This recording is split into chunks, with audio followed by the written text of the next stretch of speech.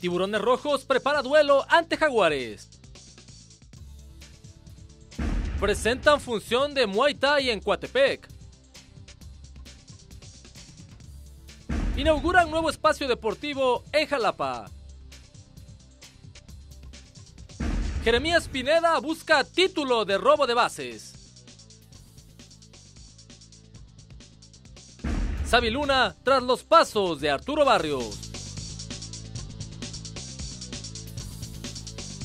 La información deportiva tiene un solo sitio. Más Deportes Nocturno, lunes a viernes, 10 de la noche.